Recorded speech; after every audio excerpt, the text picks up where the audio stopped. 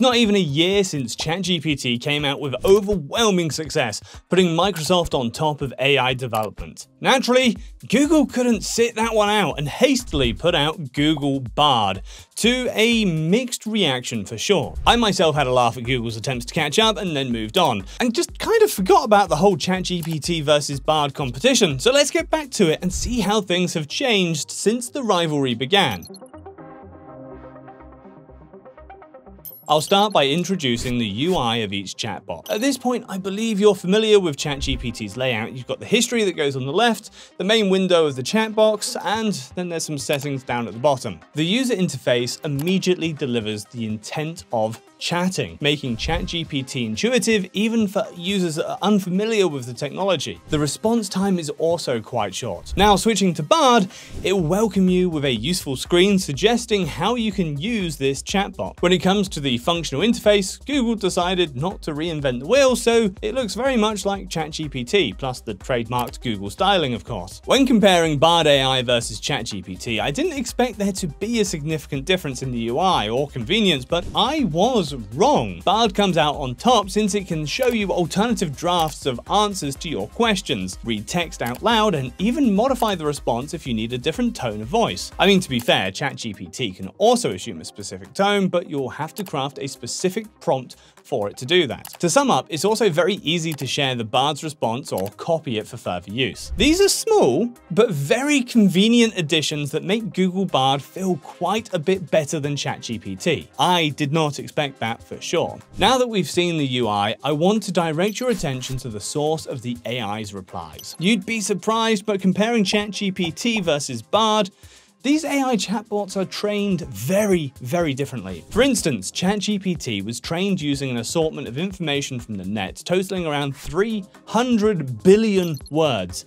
The dataset includes more than 570 gigabytes of books, web text, Wikipedia articles, and other pieces of written text from the internet. However, this original dataset only contains information collected before September of 2021. Until recently, ChatGPT had no way of using recent information to generate texts. These days, subscribers of the chatbot's premium version get full access to plugins allowing ChatGPT to access the internet. On the contrary, Google Bard was trained using using Infiniset. This is Google's proprietary dataset containing a significant amount of text from public web spaces, Wikipedia, and more. According to the LAMDA research paper, this set contains data from public forum and social media as well, and a lot of it. Furthermore, Bard continues to draw information from the web even now, growing more knowledgeable every day. Still, Remembering the early presentation of Bard where Google's chatbot failed to correctly answer rather simple science questions, I can only wonder if Bard's sources are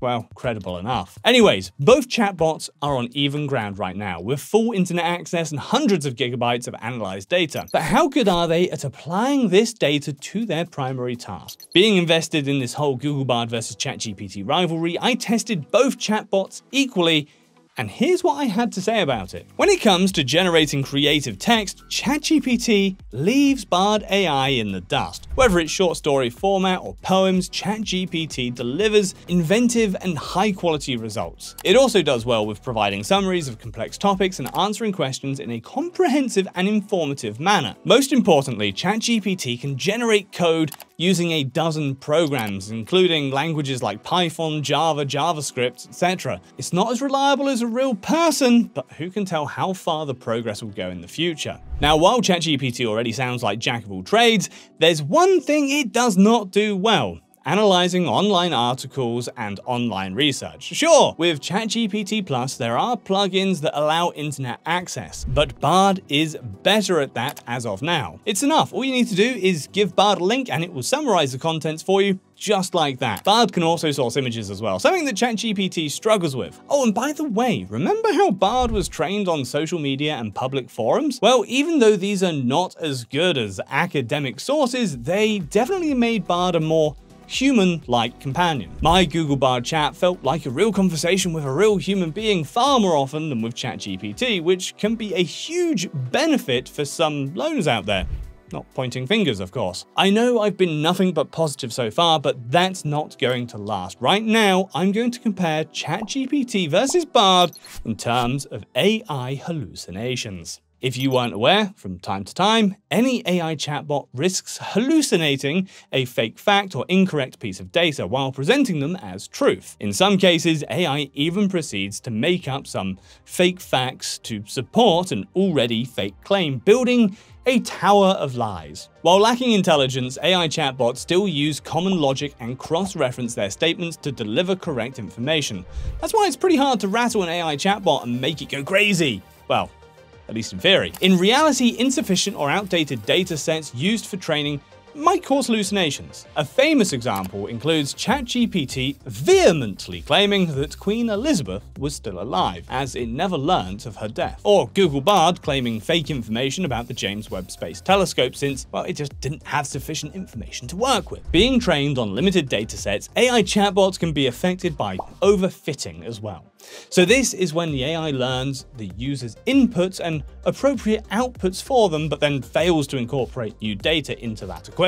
Using a lot of slang or idioms in Google Bard or ChatGPT prompts can confuse both AIs. Notably, that happens less with Bard on account of how it was trained. Finally, of course, we have prompts designed to confuse the AI and make its logic break, and Bard excels in that as well. I found Bard was much easier to fool, and I think it's one of the downsides of open internet access. Bard has access to so many self-contradicting data sources that it's really not that hard to make it break under pressure. To be fair, ChatGPT can also be fooled as well, but so far, the development team behind this chatbot has been focusing on every new exploit as soon as it comes out. Finally, I have to compare pricing between Google Bard versus ChatGPT, even though the former doesn't have one. Yeah, that's right. Google Bard is completely free right now, while I have to deal with the ChatGPT pricing to get the latest models with the online access plugins. Still, there's a free trial and a free to access older model available to everyone, so not everything is paid only. In conclusion, if you want a creative, hard to break chatbot that can code and you aren't afraid of spending a little money, ChatGPT is definitely the choice. But even if I'm not going to use Bard versus ChatGPT for coding, it's strictly better for research or straight up chatting. Thanks for watching so far and I hope you really enjoyed the video. If you did, Please consider supporting the channel with your likes and subscribe too so that I won't be replaced with a chatbot in the near future. Please guys, it's a real possibility. So yeah, Hope to see you in the next one.